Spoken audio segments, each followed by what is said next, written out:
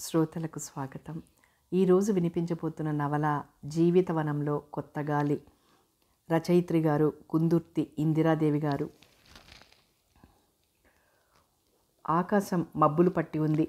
ఉండి ఉండి ఒకటి అరా చినుకులు పడుతున్నాయి. వర్షం బాగా పెద్దదయ్యేలా ఉంది. రోడ్డు మీద కార్లు బస్సులు రిక్షాలు రివ్వున పరిగెడుతున్నాయి. ఆ రోజు ఆదివారం కావటంతో షాపులు మూసి ఉన్నాయి. రోడ్డు మీద జనం వర్షంలో చిక్కుకుపోతామన్న భయంతో పరుగులు పెడుతున్నట్టుగా నడుస్తున్నారు. నేను కూడా నడక వేగం హెచ్చించి చకచక అడుగులు వేస్తున్నాను. బస్ స్టాప్ అంత దూరంలో ఉండగానే చినుకులు టపటపా నా నెత్తి మీద పడ్డాయి. పాప్రే అనుకుంటూ తలెత్తి ఆకాశం వైపు చూశాను. వర్షపు చుక్క కంట్లో పడి నా చెక్కిలి మీదకి జారింది. కళ్ళు తుడుచుకుంటూ నడవసాగాను. అయినా లాభం లేకపోయింది. వర్షం పెద్దదవటంతో నేను దాదాపు పరిగెత్తి షెల్టర్లో దూరాను. చీర మీద వర్షపు జల్లు బాగానే పడింది. భుజానికున్న బ్యాగ్లోంచి కర్చీఫ్ తీసి ముఖం తుడుచుకున్నాను. గాలి కూడా వీచసాగింది. చూస్తుండగానే వర్షం జోరుగా కురవసాగింది. రోడ్డు మీద జనం అక్కడున్న హోటల్స్లోనూ షాపుల చూరుల కింద దూరిపోయారు. వర్షపు జల్లు కొట్టడంతో వెనక్కి జరిగి చుట్టూ చూశాను. షెల్టర్లో నాతో పాటు మరో ఇద్దరు మగవాళ్ళున్నారు. వాళ్ళేదో మాట్లాడుకుంటూ నవ్వుకుంటుంటే నాకు భయంతో ఒక్క క్షణం గుండెలు జలధరించాయి. రివ్వున వీస్తున్న గాలి చల్లగా ఒంటిని తాకుతుంటే తడిసిన చీరలో ఇంకా చలేస్తోంది. అప్రయత్నంగా కొంగు తీసి భుజాల చుట్టూ లాక్కున్నాను. సిగరెట్ ఉందిరా? నేను ఉలిక్కిపడి చూశాను. అందులో హిప్పీ పెంచుకున్న కుర్రాడు రెండో వ్యక్తిని అడుగుతున్నాడు. లేదురా అన్నాడు రెండో అతను. మొదటి వ్యక్తి చిరాగ్గా వాడిని చూస్తూ వానని కూడా చూస్తూ డర్టీ రెయిన్ అని తిట్టాడు. ఇక్కడ నిల్చుంటే చలి కూడా వేస్తుంది. ఎదురుగా ఉన్న రెస్టారెంట్లకు పోదాం అన్నాడు రెండో వ్యక్తి. సరే హుషారుగా అన్నాడు మొదటి వ్యక్తి. మరుక్షణం ఇద్దరూ ఎదురుగా ఉన్న రెస్టారెంట్లోకి పరుగు తీశారు. హమ్మయ్య అని తేలిగ్గా ఊపిరి పీల్చుకున్నాను. వర్షం తగ్గే సూచనలేమీ కనపడడం లేదు. ఇంటి దగ్గర అమ్మ ఎంత ఆదుర్దా పడుతోందో అయినా అసలు ఈ ప్రమీలకి బుద్ధి లేదు. పెడతానంటే అబ్బ కాసేపు కూర్చో అని బలవంతాన కూర్చోబెట్టింది. ఇంకా నయం దాన్ని వదిలించుకుని రాబట్టి సరిపోయింది. లేకపోతే మధ్యలోనే ఈ వర్షంలో చిక్కుకుపోతే నానా గడ్డి నేను తినాల్సి వచ్చేది నేను గాఢంగా నిట్టూర్చాను. ఎంతో అపురూపంగా ఎదురుచూసే ఆదివారం రాను వచ్చింది. అప్పుడే మూడొంతులు అయిపోయింది అసలు చెల్లెలు ఫీజు కట్టాలక్క అని గోల పెట్టకపోతే నేను అసలు బయలుదేరేదాన్నే కాదు. ప్రమిల దగ్గర అప్పు తీసుకొచ్చాను. అప్పు అనుకోగానే నా గుండెల్లో దిగులు లాంటిది ప్రారంభమైంది. ప్రమిల దగ్గర అప్పులు చేయడం నాకు కొత్తేమీ కాదు. అప్పు తీసుకుని మళ్ళీ వెంటనే తీర్చేసి మళ్ళీ అప్పు అంటూ బయలుదేరడం నాకు అలవాటు ఎంత చిన్న మొత్తమైనా సరే అప్పంటే చాలు నా ప్రాణం రెపరెపలాడుతుంది. అసలు తీర్చగలనో లేదో అన్న సమయానికి అన్న భయం. అందుకే నేను చప్పున అస్సలు చెయ్యను. చిత్రం ఏమిటంటే నాన్నగారు చేసిన అప్పులు మాత్రం నేను ఇంకా వడ్డీతో సహా కడుతూనే ఉన్నాను. అటువంటప్పుడు నిజానికి అప్పంటే భయం ఉండదు చాలామందికి. కానీ నాదేమిటో చిత్రమైన మనస్తత్వం. నేను తెచ్చిన చేబద్దళ్ళు మాత్రం చస్తే బాకీ పెట్టను వెంటనే తీర్చేస్తుంటాను. ఢమా ఢమామని ఉరమటంతో ఒక్కసారి ఉలిక్కిపడ్డాను.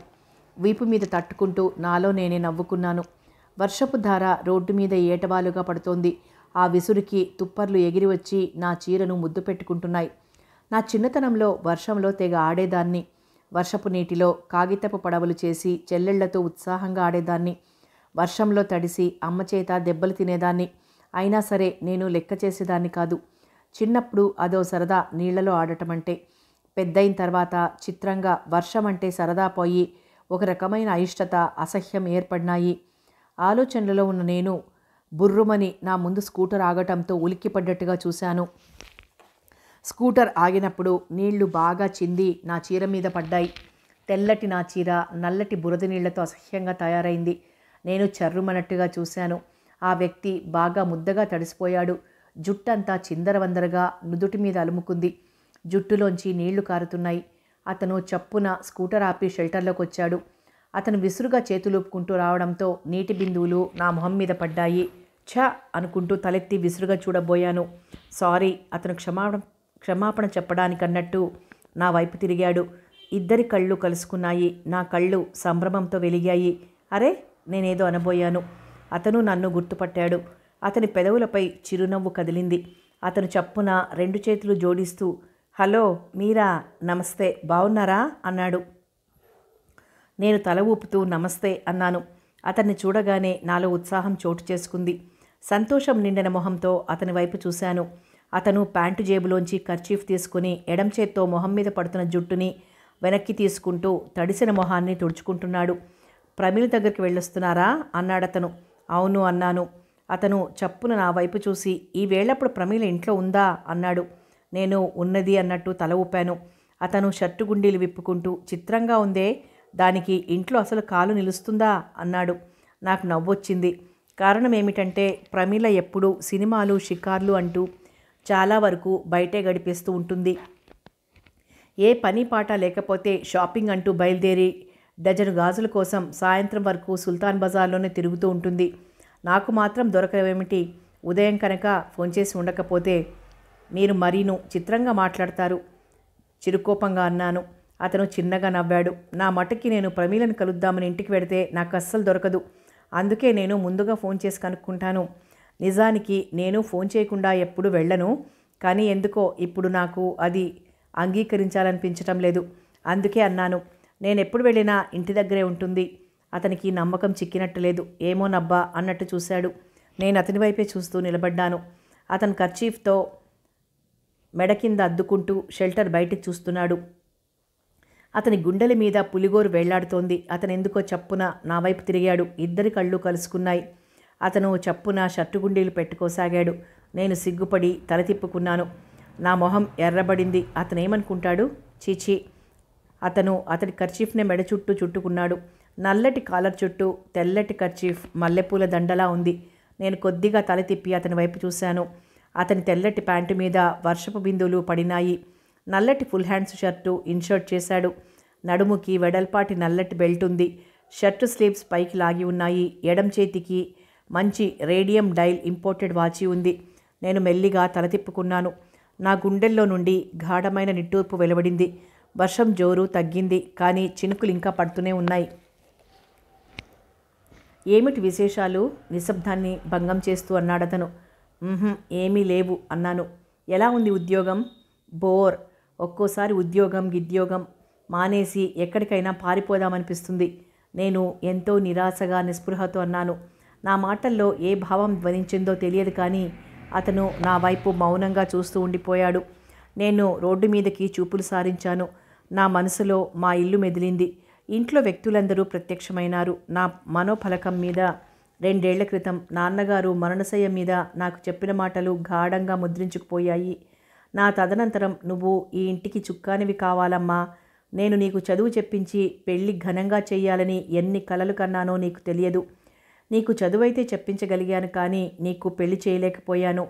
ఈ ఇంటికి పెద్ద దిక్కువు నువ్వు. తమ్ముడిని చెల్లెళ్ళను నువ్వే చూసుకోవాలి. మీ అమ్మ జాగ్రత్త. నీకు అన్నయ్యే ఉంటే నాకింత బాధే ఉండేది కాదు. నీ మీద ఇంత బాధ్యత మోపేవాడినే కాదు. ఆనాటి నుండి నేను ఆ ప్రకారమే నడుచుకుంటున్నాను. హఠాత్తుగా ఆకాశం ఉరమటంతో ఉలిక్కిపడ్డాను. వర్షం తగ్గినట్టే తగ్గి మళ్ళీ జోరున కురవసాగింది. నాకు విసుగేసింది. ఇదేం తద్దినం బాబు? ఈ వెదవ వర్షం ఇలా కురుస్తుంది? పైకి అనేశాను. అతను నవ్వుతూ అప్పుడప్పుడు ప్రకృతి మన మీద తన ప్రతాపం చూపుతూ ఉంటుంది. అది మనం సహనంగా భరించాలి తప్పదు అన్నాడు. అతడు అన్న మాటలకి నేను కూడా నవ్వాను. ఇద్దరి మధ్య నిశ్శబ్దం రాజ్యం చేస్తోంది. రేకుల మీద పడుతున్న వర్షం ధన ధన శబ్దం చేస్తూ చిరాకు కలిగిస్తోంది. అతను వర్షం వైపు తదేకంగా చూస్తున్నాడు. అతన్ని నేను మొట్టమొదటిసారి ప్రమీల ఇంట్లో చూశాను. ప్రమీల నాకు స్కూల్ నుండి కాలేజీ వరకు సహాధ్యాయిని నాకు బెస్ట్ ఫ్రెండ్. నాకు స్నేహం అని ఎప్పుడైనా తలుచుకున్నప్పుడు వెంటనే ప్రమీల గుర్తుకొస్తుంది. అతను కొత్తగా ఉద్యోగంలో చేరగానే హైదరాబాద్ వచ్చాడట. ఓ రోజు ఆదివారం ప్రమీల ఇంటికి వెళ్ళాను. అప్పుడే హుషారుగా ఈలపాట పాడుకుంటూ లోపలికొచ్చి నన్ను చూసి టక్కున ఆపేశాడు. ప్రమీల మొదటిసారిగా అప్పుడే పరిచయం చేసింది. ఇతను మా పెద్దమ్మ కొడుకు కిరణ్ కొత్తగా ఉద్యోగంలో చేరాడు అంటూ ఇద్దరం పరస్పరం నమస్కారం చేసుకున్నాం. ప్రమీల వాళ్ళ అమ్మ వాళ్ళకు ఒక్కతే కూతురు. ఇక పిల్లలు లేకపోవటం వల్ల ప్రమీలను బాగా గారాభం చేసేవారు. సెలవుల్లో మా అన్నయ్య అంటూ మద్రాసు వెళ్ళేది ఇతనే కామోసు అనుకున్నాను. తర్వాత ఒకటి రెండు సార్లు చూశాను. పెద్ద పరిచయం అంటూ ఏమీ లేదు. పైగా అందరితోనూ చప్పున కలిసిపోయే మనస్తత్వం కాదు నాది. ఏమండోయ్ నా చెవి పక్కన కయ్యన వినిపించేసరికి ఎగిరిపడ్డట్టు చూశాను. నా పక్కనే నిలబడి ఉన్నాడతను. ఏమిటి దడుచుకున్నారా? భలే వారే అతను కొంటెతనంగా అన్నాడు. చిచి హఠాత్తుగా అలా అరిచేసరికి నేను సిగ్గుపడిపోయాను. అతను చేయి చాచి గాల్లో ఆడిస్తూ వర్షం తగ్గిపోయింది ఈరోజు ఇంటికి వెళ్ళరేమిటి? అన్నాడు. నేను జవాబు చెప్పలేదు. బస్సు వచ్చే వరకు ఎదురు చూడాలి అనుకుంటూ అతను టైం చూసి బాప్రే ఐదు గంటలైంది అన్నాడు. మై గాడ్ ఐదు గంటలా? నేను కూడా చప్పున నా చేతికున్న బాచి వైపు చూశాను. నిజమే అప్పుడే చీకటి పడబోతోంది. అతను వెళ్ళి స్కూటర్ సీట్ తుడిచి స్టార్ట్ చేశాడు. నేను బస్సు కోసం చూశాను. కను చూపు మేరలో బస్సు వస్తున్న జాడలేదు మీరేమీ అనుకోకపోతే మీ ఇంటి దగ్గర డ్రాప్ చేస్తాను. రండి. బస్సు వచ్చేసరికి ఆలస్యమయ్యేలా ఉంది అన్నాడు. స్కూటర్ మీద నా చెయ్యి అప్రయత్నంగా గుండెల మీదకి వెళ్ళింది. నా జీవితంలో నేనెప్పుడూ అలా వెళ్ళలేదు. అందుకనే సంకోచంగా నిలబడిపోయాను. పర్వాలేదు రండి. గంటన్నర నుండి మీరు నిలబడే ఉన్నారు. కాళ్ళు నొప్పులు పెట్టడం లేదు. అతను ఎంతో ఇదిగా అలా అనేసరికి అప్పుడు కానీ నాకు కాళ్ళ నొప్పులు గుర్తుకు రాలేదు. కాళ్ళు పీక్కుపోతున్నాయి. పోనీ స్కూటర్ మీద వెళ్ళిపోతే చచ ఎవరైనా చూస్తే లేనిపోని రాద్ధాంతం. నో థ్యాంక్స్ బస్లో వెళ్ళిపోతాను. మీరు మొహమాట పడుతున్నారు. ఓ చెంప చీకటి పడుతోంది. రండి. అతని చేత మరీ మరీ బ్రతిపాలించుకోవడం నాకు సిగ్గనిపించింది. మెల్లగా వెళ్ళి అతని వెనక కూర్చున్నాను. స్కూటర్ రివ్వున దూసుకొని పోతోంది. నాకు ఒక్కసారి పడిపోతానేమో అని భయం వేసింది. చప్పున అతని భుజం మీద చేయి వేసి గట్టిగా పట్టుకున్నాను. అతను భుజం మీదుగా వెనక్కి తిరిగి వెరీ గుడ్ అన్నాడు. నా మొహం ఎర్రబడింది. రోడ్డు మీద నెమ్మదిగా నడవటం లేకపోతే బస్సులో వెళ్ళడం ఈ రెండే నాకు అనుభవాలు. స్కూటర్ మీద ఇలా ప్రమీల అన్నయ్య వెనక కూర్చొని వెళ్తుంటే నాకు కొత్త అనుభూతి కలుగుతోంది. ఏమిటో నా గుండెల్లో చిత్రమైన స్పందన. మేము ఇంటికి వెళ్ళేసరికి చీకటి పడింది. స్కూటర్ దిగి బ్యాగ్ సరిచేసుకున్నాను. థ్యాంక్స్ అన్నాను. ఇంత మాత్రానికే అన్నాడతను మీకు చాలా శ్రమ ఇచ్చాను. నోనో మీరు అలా పెద్ద పెద్ద మాటలు వాడకండి. అతను పొగడ్తలు వినలేని వాడిలా మొహమాట పడిపోయాడు. నేను చప్పున గుర్తుకొచ్చిన దానిలా లోపలికి రండి అన్నాను. నోనో నాకు చాలా పనుంది. వెదవ వర్షం వల్ల ఇప్పటికే ఆలస్యమైంది అన్నాడు. ప్లీజ్ ఆలస్యం కానివ్వను. కాఫీ తాగి వెళ్దురు గాని ప్రాధేయపూర్వకంగా అన్నాను. అందులో వర్షంలో బాగా తడిశారు. ఓ కప్పు కాఫీ తాగితే రిలీఫ్గా ఉంటుందని నా ఊహ. కానీ అతను మాత్రం ఒప్పుకోలేదు. నో థ్యాంక్స్ తప్పకుండా ఇంకోసారి వస్తాను. నమస్తే. గుడ్ నైట్ అన్నాడు స్కూటర్ రివర్స్ చేసుకుంటూ. అచ్చా గుడ్ నైట్. నేను చెయ్యి ఊపాను. అతను వెళ్ళిపోయాడు. నేను స్కూటర్ వెళ్ళిన వైపే చూస్తూ ఉండిపోయాను. ఇదంతా నిజమా? కళ అన్న సంశయంలో పడిపోయాను. హఠాత్తుగా టప్మని చినుకు నెత్తిమీద పడటంతో నా ఆలోచన తెగిపోయింది. వెదవ వర్షం. డర్టీ రెయిన్ విసుగ్గా తిట్టుకున్నాను. పాపం అతను తడిసిపోతాడేమో. అతను ఇంటికి వెళ్ళే వరకైనా ఈ వర్షం కురవకుండా ఉంటే బాగుండు. నేను గేట్ తీసుకుని లోపలికి అడుగుపెట్టాను. నేలంతా బురదగా అసహ్యంగా ఉంది. చీర కుచ్చెళ్ళు ఎత్తి పట్టుకుని గుమ్మమెక్కి తలుపు తట్టాను. ఎవరు? లోపల నుండి అమ్మ గొంతు సన్నగా వినపడింది. నేను నేనంటే పేరు లేదా? అమ్మ గొంతు గట్టిగా వినిపించింది. నేను విసుగ్గా తలుపు టకటకా శబ్దం చేశాను. ఆ సంకేతం అమ్మకు తెలుసు. నేను తప్ప అలా ఎవ్వరూ మా ఇంట్లో తలుపు కొట్టరు. ఎవరు? అమ్మ అడుగులు చప్పుడు. నేను సంధ్యను. అక్క నా చెవిలో గుసగుసగా వినిపించేసరికి నాకు మెలకు వచ్చింది. కొద్దిగా కళ్ళు తెరిచాను. మంచం మీద నా పక్కన రెండు చేతులు అటు ఇటు వేసి నా మీదికి వంగి చూస్తున్న మీనా కనిపించింది. గుడ్ మార్నింగ్ సిస్టర్ నోరు తెరిచి నవ్వుతూ చెప్పింది. మార్నింగ్ మై డియర్ మీనా రెండు చేతులు దాని నడుము చుట్టూ వేస్తూ అన్నాను. మీనా నా గుండెల్లో ఒదిగిపోయింది. మీనా నా చివరి చెల్లెలు. చిన్నప్పటి నుండి నాకు మీనా అంటే మిగతా ఇద్దరు చెల్లెళ్ళ కన్నా చెప్పలేనంత ప్రేమ. మీనా అప్పటికే స్నానం చేసి స్కూల్ డ్రెస్ వేసుకొని రెడీ అయిపోయింది. ఇంత పొద్దుటే నా దగ్గరికి పనిమాల వచ్చిందంటే ఏదో కారణం తప్పకుండా ఉంటుంది. తల తిప్పి చూశాను. టైం పీస్ ఎనిమిది గంటలు చూపిస్తోంది. మై గాడ్ నేను ఉలిక్కి పడ్డట్లయ్యాను. అక్క అని పిలిచింది మీనా. ఏమిటి? అన్నాను. మరి ఉషక్క నానుస్తోంది. నేను మీనా వైపు తదేకంగా చూడసాగాను. దానికి నేనెంత చనువిచ్చినా ఎందుకో గాని నేనంటే చాలా భయం. ప్రతి విషయం నానుస్తూ గాని చెప్పదు. ఏమంది ఉషక్క? మరే ఫీజు కట్టాలి. అక్కను డబ్బు అడిగిరా అంది. అక్కడ నా బ్యాగ్ ఉంది. తీసుకురా. నేను మీనా మీద వేసిన చేతులు తీసేస్తున్నాను. మీనా వెళ్ళి అక్కడ చిలక్కొయ్యకి తగిలించి ఉన్న నా బ్యాగ్ తెచ్చింది. నేను బ్యాగ్ తెరిచి తలెత్తి మీనాను చూస్తూ నువ్వెళ్ళి అక్క వాళ్ళని పిలుచుకురా అన్నాను. మీనా తూనీగలా పరిగెత్తింది. కాసేపటికి బయట నుండి గుసగుసగా మాటలు వినిపించాయి. అక్క అక్క రమ్మంటోంది. మీనా గొంతు. నా చిట్టి తల్లివి కదూ నువ్వు తీసుకురా. ఉష గొంతు బ్రతిమలాడుతున్నట్లుగా ఉంది. అది ఇందాకటి నుండి బయటే తచ్చాడుతున్నట్లుంది. ఆహా సంధ్యక్క నిన్నే రమ్మంటోంది మీనా సణుగుడు. అబ్బా అది నన్ను సవా లక్ష ప్రశ్నలు వేస్తుందే. పైన పది రూపాయలు చేతి ఖర్చుకు కావాలంటే చస్తే ఇవ్వదు అంటోంది ఉషా. ఉషా గట్టిగా పిలిచాను. ఓయ్ మరుక్షణం ఉషా నా గదిలో ప్రత్యక్షమైంది. వెనక మీనా కూడా వచ్చింది. నేను డబ్బు లెక్క చూస్తూ శశేది ఏం చేస్తోంది అన్నాను. మీనా మళ్ళీ బయటకు పరిగెత్తింది. మేకప్ చేసుకుంటోంది. ఉషా పైట సరి చేసుకుంటూ అంది. నేను చివ్వున తలెత్తి చూశాను. నాతో అలా చెప్తే చాలా కోపం. అచ్చా అన్నాను. ఉషా ఉలిక్కిపడి చూసింది నా వైపు. అంతలోనే సర్దుకుంటూ శశి టాయిలెట్ అవుతోంది అంది. మేకప్ అనేది నాకు ఇష్టం లేని పదం. ఆడవాళ్ళ అలంకరణ మేకప్ అంటే నాకు నచ్చదు. మా తమ్ముడు పల్గుణ ఉషని ముఖ్యంగా శశిని నీ మేకప్తో సగం టైం వృధా చేస్తావంటూ వాళ్ళని ఏడిపిస్తూ ఉంటాడు. మా ఉషకి ఆ పదం నచ్చినట్టుంది. మొహానికి పౌడర్ వేసుకోవాలన్నా మేకప్ చేసుకోవాలి అంటుంది. మనం ఏమన్నా స్టేజ్ మీద నాటకాలు ఆడుతున్నామా సినిమాలో నటిస్తున్నామా మేకప్ చేసుకోవడానికి? ఉష అలా అన్నప్పుడల్లా అందుకే నాకు చచ్చేంత కోపం వస్తుంటుంది. ఇంతలో శశి మీనా గదిలోకి వచ్చారు గుడ్ మార్నింగ్ అంది వస్తూనే. నేను డబ్బు లెక్క పెడుతూ తలాడించాను. గుడ్ మార్నింగ్ ఉషా నాలిక్ ఖర్చుకుంటూ అంది. నేను నవ్వాను. శశి మీనా ముందుకొచ్చి ఉషా పక్కన నిలబడ్డారు. అచ్చా శశి నేను లేచి కూర్చోబోతూ ఆగిపోయాను. నిండు రంగు చీరలో బొమ్మలా చూస్తున్న శశి పక్కనే లంగా ఓని జాకెట్ వేసుకుని కళ్ళు విప్పార్చి చూస్తున్న ఉష శశి కొంగు పట్టుకొని కాన్వెంట్ డ్రెస్లో దొంగచూపులు చూస్తున్న మీనా నేను ఒక్క నిమిషం పాటు తేరుకోలేకపోయాను. వీళ్ళంతా నా కళ్ళ ముందు పుట్టి పెరిగారు. శశి ఎంత ఎదిగిపోయింది? అదప్పుడే డిగ్రీ చదువుతోంది.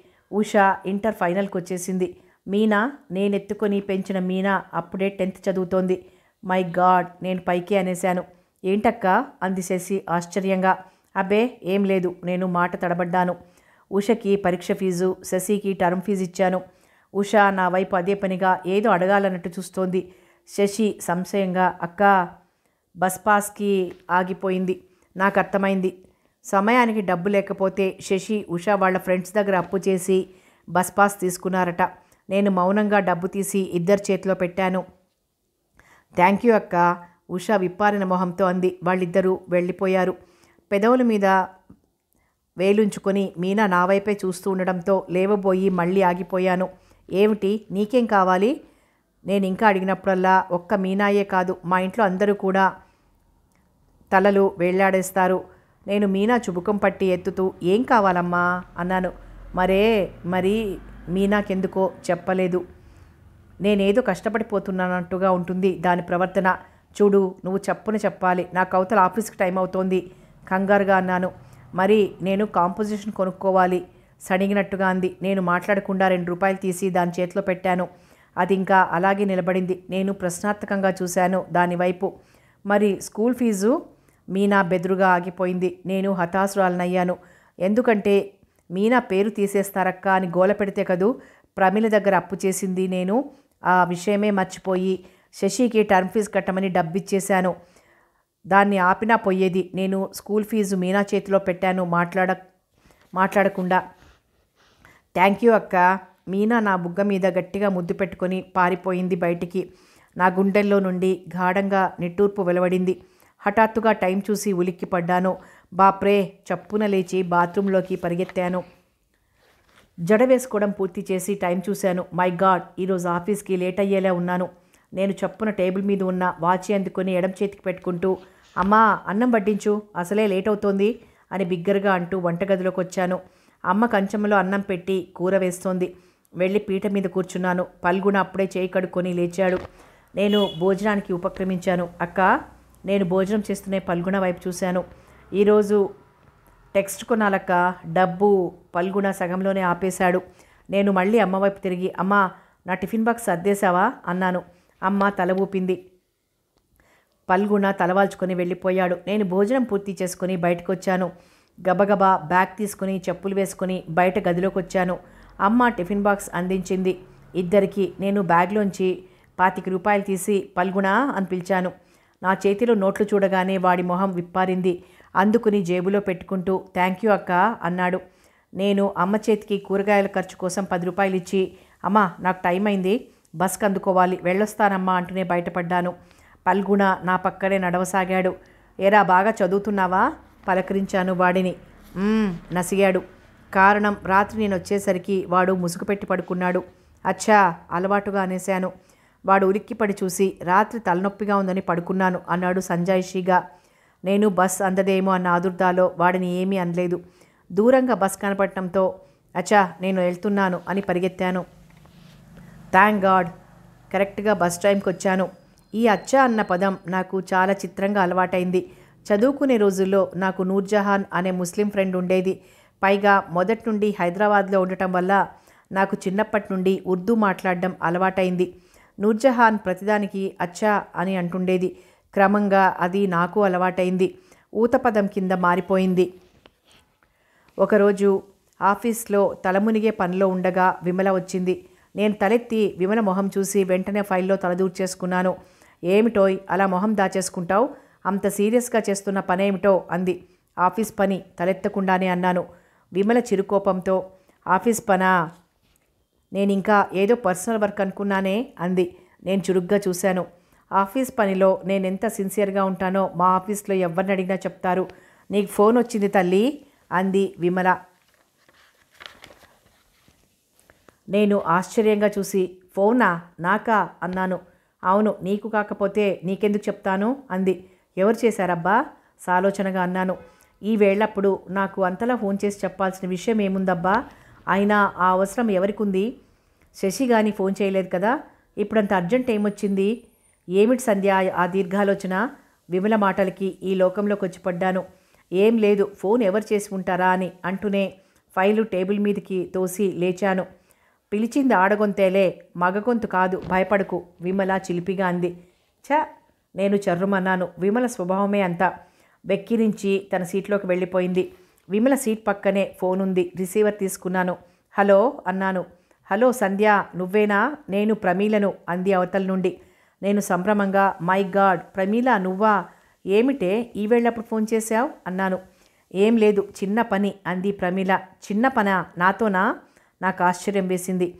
అదేం కాదోయ్ సంధ్యారాణి రేపు నా బర్త్డే. మర్చిపోయావా? నిష్ఠూరంగా పలికింది ప్రమీల గొంతు.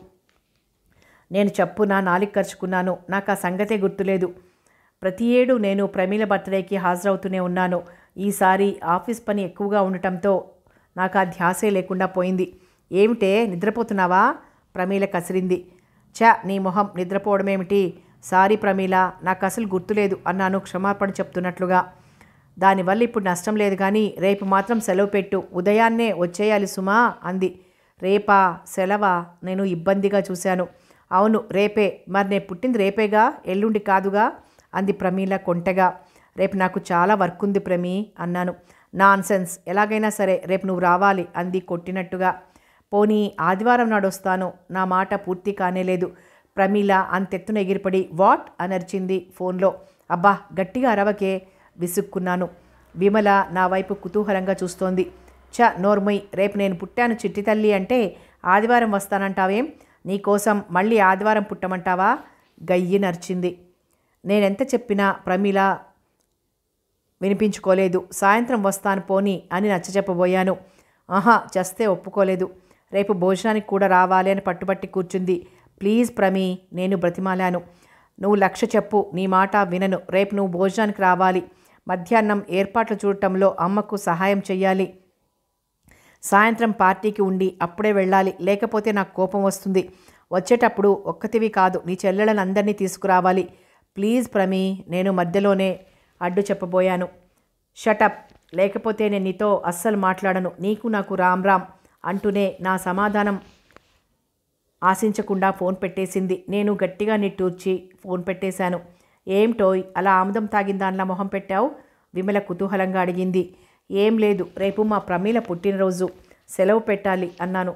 విమల అదిరిపడినట్లు చూసి చంపావు పో. రేపు నా పని కూడా నీకు అప్పచెప్పి నేను సెలవు పెడదామనుకుంటున్నాను అంది దిగులుగా. నీకంత అవసరం ఏమొచ్చింది చిరాగ్గా అన్నాను. అడపాదడపా విమల పని కూడా నేను చేస్తూ ఉండటం మామూలే.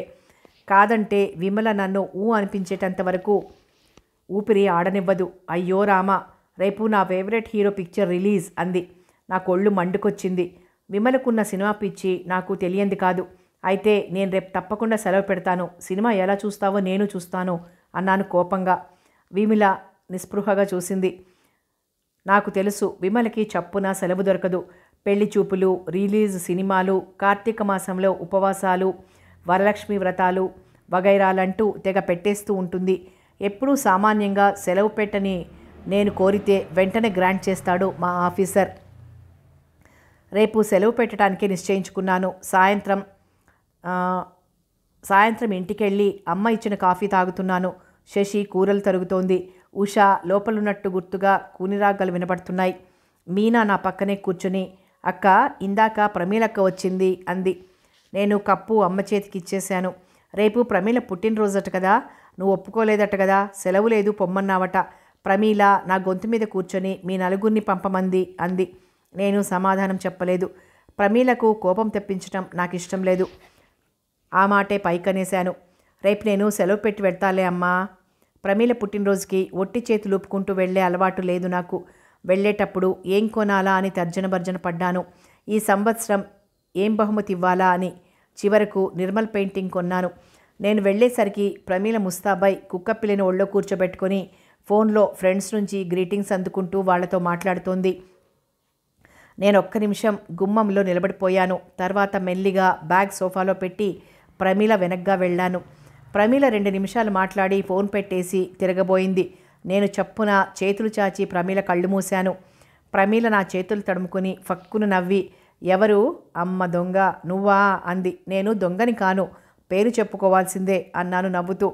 నీ పేరా? నాకు గుర్తులేదోయ్. నువ్వే చెప్పు అంది. నాకు గుర్తులేదు. నువ్వు గుర్తు చెయ్యి అన్నాను. అబ్బా గొంతులో ఆడుతోందే బయటికి రావటం లేదు అంది ప్రమీల చిలిపిగా. ఇంకొంచెం శ్రమపడు చచ్చినట్టు అదే వస్తుంది. అన్నానే కానీ నేను మాత్రం చేతులు తీయలేదు. అయితే అలా ఎంతసేపు ఉంటావు? అంది ప్రమీల. నువ్వు పేరు చెప్పేటంతవరకు అన్నాను మొండిగా. అబ్బా నీ పేరు నాకు గుర్తులేట లేదంటుంటే గారంగా అంది. అందుకే కదోయ్ ఈరోజు పేరు మర్చిపోయావంటావు. రేపు మనిషినే మర్చిపోయావంటావు అన్నాను. ఉన్న కొద్దీ మా ఇద్దరి మధ్య పంతం పెరుగుతోంది. అది పేరు చెప్పటం లేదు. నేను చేతులు తీయటం లేదు. అబ్బా ప్రమి నా చేతులు నొప్పులు పెడుతున్నాయి. చెప్పున చెప్పు. తొందర చేశాను.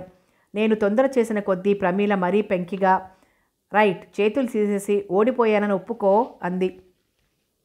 చేతులు లాగేసుకోబోయి మళ్ళీ గట్టిగా కళ్ళు మూస్తూ అయితే నా పేరు మాత్రం చెప్పవన్నమాట అన్నాను. పోవోయ్ నీ పేరేమిటో నువ్వే మర్చిపోతే నాకెలా గుర్తుంటుంది? అంది గలగల నవ్వుతూ. నువ్వు నా పేరు చెప్పాల్సిందే మొండిగా అన్నాను. ఆహా చెప్పను. ప్రమీల తన ఓటమిని ఒప్పుకోలేదు. ఎందుకొచ్చిన దెబ్బలాట? పోనీ నేను చెప్పనా? హఠాత్తుగా వినిపించిన మాటలకి నేను చప్పున తలతిప్పి చూశాను. ప్రమీల నా చేతులు లాగేసింది. ఎదురుగా సోఫాలో కిరణ్ కూర్చుని ఉన్నాడు. ఆ కూర్చున్న తీరు ఆ నవ్వు మొహం చూస్తుంటే వచ్చి చాలాసేపు అయిందిలా ఉంది. నా మొహం ఎర్రబడింది. Hello brother what a surprise. Pramila ఆనందంగా లేచి వెళ్ళి అన్నగారి పక్కన కూర్చుని నువ్వింత పెందలాడే వస్తావనుకోలేదు అని నా వైపు తిరిగి సంధ్య నీలాగే అన్నయ్య కూడా సెలవు లేదు కుదరదు అని ఎన్ని కుంటిసాకులు చెప్పాడనుకున్నావు? నువ్వు వస్తావని నాకు నమ్మకంగా తెలుసు కానీ ఈ పెద్ద మనిషి వచ్చాడంటే నాకు ఆశ్చర్యంగానే ఉంది సుమా అంది తల ఊగిస్తూ. అలా హఠాత్తుగా ఊగటంతో చెవులుకున్న జూకాలు తమాషాగా కదిలాయి. నేను నవ్వు బిగబెట్టుకుంటూ అలాగే నిలబడ్డాను. కిరణ్ నవ్వుతూ అన్నాడు ఇప్పుడే కదా బే ఇప్పుడే కదా బేబీ పేరు గుర్తులేదన్నావు. మరి సంధ్య అని బాగానే పలకరించావే? ఆ కళ్ళల్లో చిలిపితనం మాటల్లో కూడా పలికిస్తూ అన్నాడు. ప్రమీల ఒక్క నిమిషం బుర్రగొక్కుని తర్వాత తలగరేస్తూ అదా దాని పేరు నేను చూడగానే టక్కును గుర్తుకొచ్చింది అంది కిరణ్ నా వైపు చూశాడు. బేబీ ప్రమీలను తంతానన్నట్టు బెదిరించాను. నీ మాట నాకు లెక్కేమిటి అన్నట్లు తలగిరేసింది ప్రమీల. అతని ఈసారి నా నా వైపు తిరిగి మీరు ఇప్పటికై మీ పేరు ఇప్పటికైనా గుర్తొచ్చిందా? లేకపోతే గుర్తు చేయమంటారా? అన్నాడు. నా బుగ్గల్లోకి వెచ్చటి ఆవిరి వచ్చింది. ప్రమీల వైపు కోపంగా చూశాను. వెనకటికి ఒక ఈగ ఇల్లలుకుతూ తన పేరు మర్చిపోయిందట. ప్రమీల దీర్ఘంగా సాగదీస్తున్నట్లుగా అంది. అలా ఎంతసేపు నిలువు జీతం తీసుకుంటారు? వచ్చి కూర్చోండి. అతను ఎంతో మర్యాదగా అన్నాడు. నేను వెళ్ళి ఎదురు సోఫాలో కూర్చున్నాను. కిరణ్ చప్పున ఏదో గుర్తొచ్చిన వాడిలా ప్రమీల ముక్కు పట్టి ఊపుతూ wish you many many happy returns of the day Prami అన్నాడు. Oh thank you brother Pramila తమాషాగా తలవంచింది. తర్వాత నా వైపు తిరిగి ఫిర్యాదుగా అంది. నువ్వు ఇంతవరకు బర్త్డే విషెస్ చెప్పావా? నేను చప్పున సమాధానం చెప్పలేకపోయాను. ప్రమీల కళ్ళు మూసి కాసేపు ఆట పట్టించి తర్వాత బర్త్డే విషెస్ చెప్దామనుకున్నాను కానీ మధ్యలో ఈ కిరణ్ రాకతో అంతా తారుమారైంది. నేను చప్పున లేచి ప్రమీల చేతిని చేతిలోకి తీసుకుంటూ సారీ సారీ ప్రమీ ఇప్పుడు చెప్తాను. Wish you many many happy returns of the day అన్నాను. ప్రమీల నా చేతిని ఎత్తి ముద్దు పెట్టుకుంటూ ఓ thank you thank you Sandhya అంది. ఎంతసేపు అయింది మీరు వచ్చి రాధమ్మ గారు బయటకు వచ్చింది నేను ప్రమీల చేతిని వదిలేశాను. అదేమిటి సంధ్య ఒక్కదానివే వచ్చావు? శశి వాళ్ళేరి? అంది. నేను ఇబ్బందిగా చూశాను. ప్రమీలకు అప్పుడు గుర్తుకొచ్చింది. చర్రున నా వైపు చూసి అవునవును నేను ఆ సంగతే మర్చిపోయాను. ఒక్కదానివే వచ్చావేం? శశి మీనా ఏరి? అంది నిలదీస్తున్నట్లుగా. ఆ మొహంలో కోపం సర్రున పాకి వచ్చింది. నేను ఇబ్బందిగా నవ్వుతూ అందరి బదులు నేను వచ్చాను కదోయ్ అన్నాను. ఛ! ప్రమీల కసురుతున్నట్లుగా అంది. నీకు నిన్న చిరక్కి చెప్పినట్టు చెప్పాను. ఒక్కదానివి కాదు నలుగురు రండని. ఇంటి దగ్గర కూడా చెప్పానా? నువ్వు అలా చెయ్యకపోతే నీకు నాకు రామ్ అని చెప్పాను. బాప్రే ఇదేమిటి? ప్రమీలకి ఇంత కోపం వస్తుందని నేను ఊహించలేదు. నచ్చ చెప్తున్నట్లుగా అన్నాను. అది కాదే ప్రమీ. ఈరోజు శశికి ప్రాక్టికల్స్ ఉన్నాయి. ఉషకి మీనాకి ఏవో టెస్టులు ఉన్నాయట అందుకే రాలేదు అన్నాను. ప్రమీల నా వైపు పచ్చి కొడుతున్నట్టుగా చూసి ఏం? ఈ ఒక్కరోజు వెళ్ళకపోతే కొంపలు అంటుకుపోతాయా? అంది. నేను సమాధానం చెప్పలేనట్లుగా చూశాను. కిరణ్ కల్పించుకుంటూ అన్నాడు. నీకంటే చదువు శ్రద్ధ లేదు. బాధ్యత అస్సలే లేదు. అందుకని ఎన్ని కబుర్లైనా చెప్తావు. ప్రమీళ కిరణ్ వైపు తిరిగి ఓ మా లావు చెప్పొచ్చాడమ్మా పెద్ద మనిషి. నేను మాత్రం చదువుకోలేదా? ఇలాగే చేశానా? అంది. కిరణ్ చెప్పున నా వైపు తిరిగి మనిద్దరం వచ్చి చాలా తప్పు పని చేశాం అన్నాడు. అదేమిటి? అన్నాను తెల్లబోయి. అవును మరి తను బాధపడుతుందేమో అని సెలవు పెట్టి చచ్చి చెడి వస్తే ఈవిడ గారిలా మన మీద విరుచుకుపడుతోంది అన్నాడు. అందులో మనం అన్న మాట ఒత్తి పలుకుతూ ఎందుకో నాకు ఆ భావమే సిగ్గుపడేలా చేసింది. ప్రమీల చప్పున మా మధ్యకొచ్చి ఏమిటేమిటి? మీరు నా పుట్టినరోజుకి చచ్చి చెడి వచ్చారా? అంది. అవునన్నాడు కిరణ్. ప్రమీల అవునా అన్నట్టు నా వైపు చూసింది. నేను కిరణ్తో ఏకీభవిస్తున్నట్లుగా మీ అన్నయ్య చెప్పింది నిజం అన్నాను.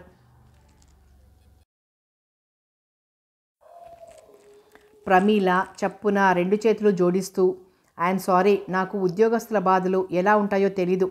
మీరు నా కోసం అంత శ్రమపడి వచ్చారంటే నిజంగా నాకు చాలా సంతోషంగా ఉంది. థ్యాంక్స్ మెనీ మెనీ థ్యాంక్స్ అంది. ప్రమీల కళ్ళల్లో నిజంగా అలాంటి ఆనందమే మెరిసింది. ఇంతలో ఫోన్ మోగటంతో ప్రమీల వెళ్ళిపోయింది. ఏరా కిరణ్ నువ్వు రావటానికి కుదరదు. చాలా పనుంది అని చెప్పావట? ప్రమీల ఒకటే సణుగుడు రాధమ్మ గారు నవ్వుతూ అంది. నిజం పిన్ని ఎంత పనుందో తెలుసా? ప్రమి ఇక ఏడ్చి గొడవ చేస్తుందని తప్పనిసరిగా రావాల్సి వచ్చింది. కిరణ్ మాటల్లో నిస్సహాయత ధ్వనించింది. పోనీలే మీరిద్దరూ వచ్చారు. నాకు అదే చాలు. ఉండండి వంట సగంలో వదిలేసి వచ్చాను అని రాధమ్మ గారు హడావిడిగా వెళ్ళిపోయింది. నేను హమ్మయ్య అన్నట్టు ఊపిరి పీల్చుకుని థ్యాంక్ యూ అన్నాను కిరణ్ని ఉద్దేశించి. అతను నా వైపు తిరిగి ఎందుకు? అన్నాడు. ఆ కళ్ళల్లో ఆశ్చర్యం కనిపించింది. మీరు నా తరపున వాదించకపోతే ప్రమీల నా పీక పట్టేసేదే అన్నాను. కిరణ్ నవ్వేశాడు. దానికి చిన్నప్పటి నుండి గారాభం ఎక్కువ. తను కోరింది జరగకపోతే ఇట్టే కోపం తెచ్చేసుకుంటుంది. ఇటువంటి వాళ్ళకి ఆప్యాయత కలిగిన ఆగ్రహం కలిగిన విపరీతంగానే ఉంటాయి. మధ్యలో మనం గిలగిలలాడాలి అన్నాడు. అతనికి ప్రమీల మనస్తత్వం పూర్తిగా అర్థమైనట్టు నాతో అంటుంటే నాకు నవ్వొచ్చింది. ప్రమీల సంగతి నాకు తెలియకపోవడం ఏమిటి కిరణ్ టీపాయ్ మీద ఉన్న హిందూ పేపర్ తీసుకుని చదవడంలో మునిగిపోయాడు. నేనేం తోచందాన్లా ఫోన్లో మాట్లాడుతున్న ప్రమీల వైపు చూడసాగాను. ముదురాకు పచ్చపై తెలుపు రంగు గులాబీ పువ్వులున్న మ్యాక్సీ వేసుకుంది. మెడలో ఆకుపచ్చ రంగు పూసల గొలుసు చెవులకి జూకాలు. చేతికి ముదురాకు పచ్చలో ఉన్న పెద్ద పెద్ద గాజులు వేసుకుంది. ఆ వేషంలో ప్రమీల చాలా తమాషాగా కనిపించింది నా కంటికి. మొదటి నుండి ప్రమీలకి అలంకరణ మీద మోజెక్కువ. కనుబొమ్మలు కత్తిరించి జుట్టుని బాబ్ చేయించింది. ఆ రోజు మటుకు నేను ప్రమీలను చెడామడా తిట్టేశాను. ఎందుకంటే ఆడపిల్లకి పొడుగాటి జడ అందం అని నా అభిప్రాయం. ప్రమీల ఒకరోజు జుట్టు కత్తిరించుకొని బ్యాగ్ ఒప్పుకుంటూ వచ్చి హలో సంధ్య ఎలా ఉన్నాను? అనేసరికి తెల్లబోయాను. ప్రమీల నవ్వుతూ ఎందుకో నాకు బాగుంటుందనిపించింది చేయించుకున్నాను. అఫ్కోర్స్ మమ్మీ తిట్టిందనుకో అయినా కేర్ చెయ్యలేదు అంది చిద్విలాసంగా. ప్రమీలకి చెప్పి చెప్పి చివరికి నేను నుదురు కొట్టుకుంటూ చిచి బెదవ అవతారం చూడలేక చస్తున్నాను అన్నాను. ప్రమీల ఎగిరిపడి అంతలోనే నా చేయి పట్టుకుని ఏ సంధ్య మనిద్దరం ప్రాణ స్నేహితులం కదా నువ్వు కూడా జుట్టు బాబ్ చేయించుకో ఫ్యాషన్గా ఉంటుంది అంది. అందులో నన్ను ఏడిపించాలన్న ధోరణి ఉంది. ఏమిటి? నేను తెల్లబోయాను. అవునో ఈ సంధ్యారాణి ఎప్పుడు అమ్మమ్మలా అంత పొడవు జడేమిటి? రోజులతో పాటు మనము మారాలి ఫ్యాషన్గా ఉండాలి లేకపోతే ఎంత ఇన్సల్ట్ అంది. నేను చెప్పున రెండు చేతులు జోడిస్తూ మహాతల్లి నీకు కావాలంటే సాష్టాంగ నమస్కారం చేస్తాను. నా జోలికి మటుకు రాకు. నాకు ఈ అమ్మమ్మ వేషమే ఇష్టం అని తెగేసి చెప్పేశాను.